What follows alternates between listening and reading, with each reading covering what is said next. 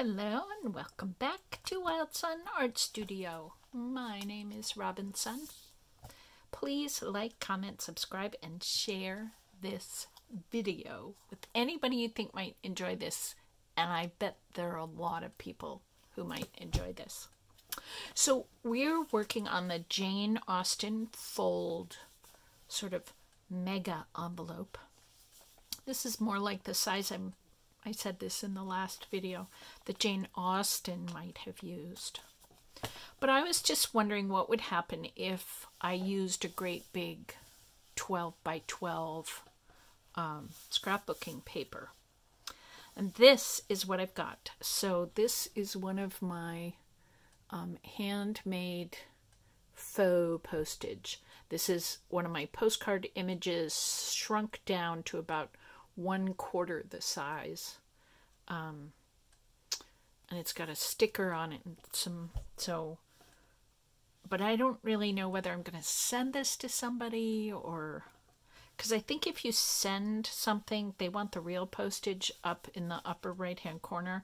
So I think it's allowable to put fake postage inside, but it shouldn't be here. But if I'm going to just give it to somebody, then I would put it here. And I haven't made that decision yet. So we wait. So again, this um, bottom flap is folded in. Now, in the last video, we made this little envelope together. And I um, sort of finished it by putting in this these circles and um, adding a magnet. So now it's really easy to open it and then one has a special secret place for a private message or thought. I love that sound of magnets. Life's little teeny tiny pleasures. And this is the little notepad that's held in by a very small um, belly band. And if you tuck the notepad, you can take the notepad all the way out, or you can leave it here. And the belly band is right underneath where the staples will go. So that sort of holds that in place. And then I'd started working on this in the previous video, Pretty Little Butterfly. And I had just done a piece of paper that was hinged right here, but um, all this paper that I'm working with has just white on the back, and that was, it was a little glaring. Um, so I put another piece of paper, this kind of pale greeny blue, and I made um, a little paper cut along the top. And so I kind of did this little hinged piece of paper front and then I added another piece for the back. And I added a stacked label medallion here. And here I used some of one of the other um, papers that I'd gotten out to work with but I'm leaving it just plain if somebody got this and they wanted to put a little photograph there or a special word of encouragement, that would be great. But I don't think, because this is the tucking in end, and it goes inside the top part here, I didn't want to make that choice for somebody. And then this section right here, I decided that I would not decorate over the top of, because it's the bird that's on the front. And this is the bird's tail. And I didn't want to mess that up. So now you ready to open it up? It's so fun. Now, normally when you make one of these folded letters, when you open it up, you've got all this writing space. And then you close it all up. And the great thing about this fold is that now everything that's written is all tucked inside. And even if you kind of po poked it open, you still really couldn't read very much. So it stays a nice private letter, especially if you put some sort of a seal or a sticker on the back. But this is a piece of 12 by 12 paper, and somehow this ocean of white possibility um, just seemed a little bit overwhelming. And I decided to break it up by putting some other stuff. Also, I really want to sort of fill this letterfold um, structure like as much as I can to see how much weight and how much stuff you can put in and still maintain that privacy.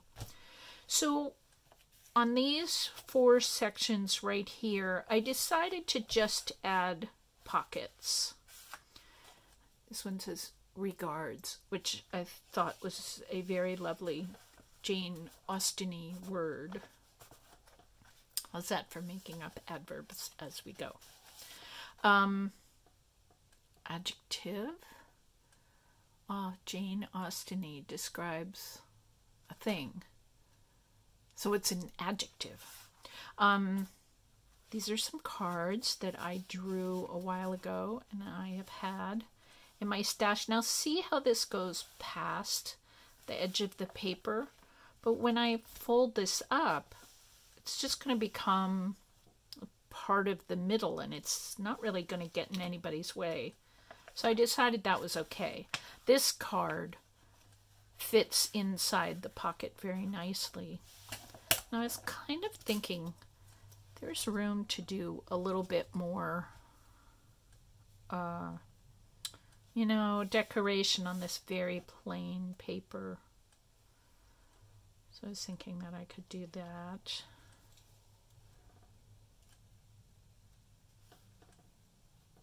Another possibility for um, for these uh, faux postage pieces is that I could put them on the inside and then leave the real actual postage for the outside.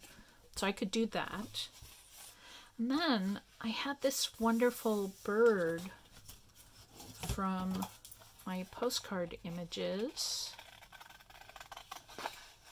And I thought it might make this, um, oh, I didn't show this to you. This is a notebook and it just has some writing pages in it. I was taking away all this writing space, so I thought I would add a little bit more. I have some charms here to delight. And this is just cardstock on the outside. And I made a belly band here. So I could have made a pocket, but I kind of liked this belly band idea that holds the back cover and again, this belly band goes right up to the edge of the binding, just like this belly band goes to the edge of this binding. And I thought this was a little blank. So I really like this bird.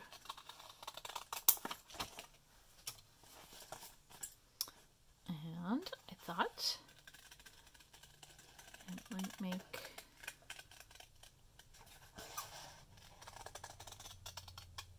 a wonderful statement because birds fly through the air and if I sent this through the mail it would go by air mail. Oh look, this is actually a little taller than I wanted. See if I can snip this just a little bit closer.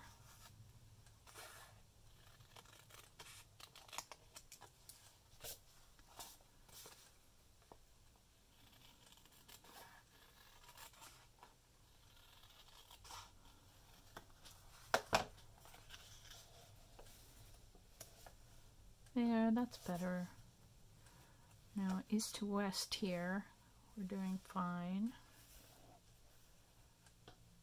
Yeah, and I think I can make that work. So, we wait for the glue.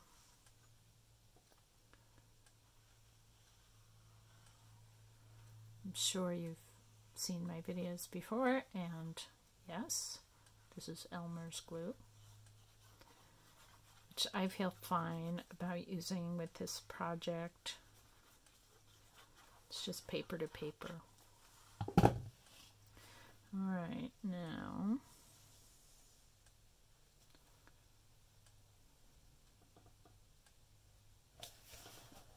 I'd rather have a bit of the belly of the bird going oops, um, past the bottom of the notebook than this little wanted to pull that down as much as I could.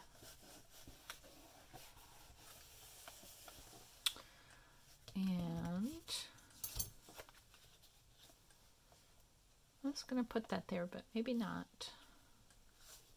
Maybe not.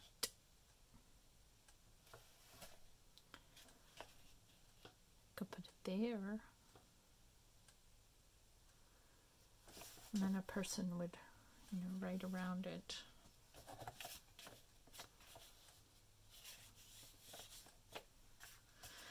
Oh, I don't know. I'm going to have to think about this very important question for a while longer.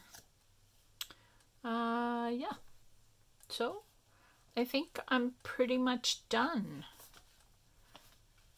So now we will close this up and see um, just how full, whoops,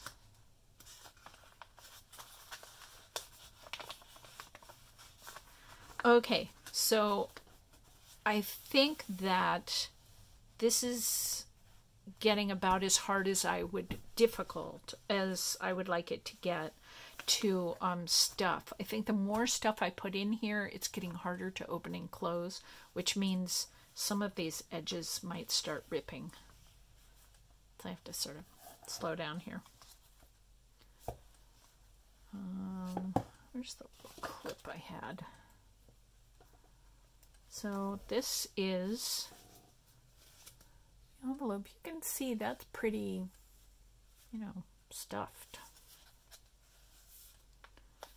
But it actually holds it fine. I'm if I send this through the mail, it's gonna definitely cost more than um, whatever it is that stamps. They all say forever on them. They don't say the prices anymore. So um, not all of them, but many of them do. Anyway, I don't know the price of regular mail, but I think if this was flat, it would go via regular postage. But because it's so bulky, I'm pretty sure they're going to ask more money. And I'm definitely going to put some sort of a sticker or a seal or something there. And I will probably ask them to hand cancel it. They have a stamp that does that. So I'll probably do that. But anyway, there we are. Yay! Let's um open it up because it's very juicy. And I want the last parting image.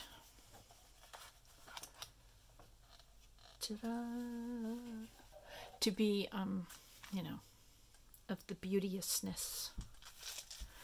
So, my blessing for you at the end of this video is I hope you get art in the mail. I hope you have somebody to share art with in the mail.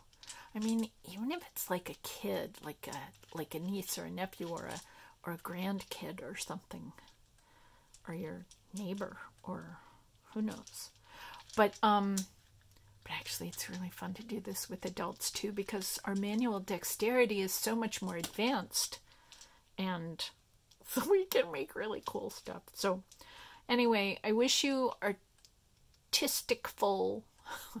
That's a ridiculous word. Um, full, whatever. Uh, art, uh, art filled, um, uh, po- postal stuffs and um, I hope you have fun making things and sending them out to people.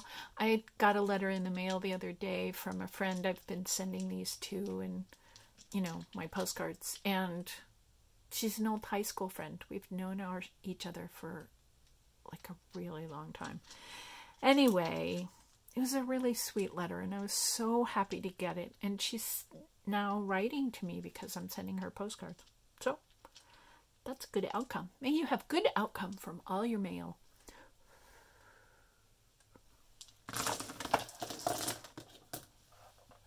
There we go.